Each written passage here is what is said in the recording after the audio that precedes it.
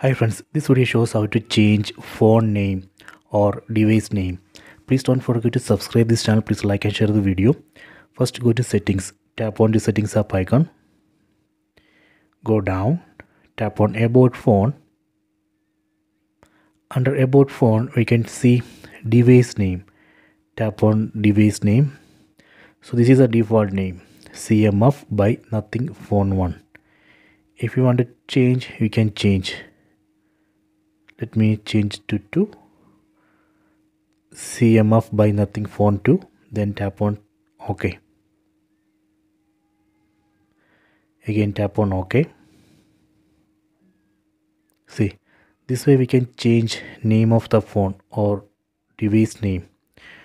Okay so i hope you have enjoyed this video. Please subscribe this channel. Please like and share the video.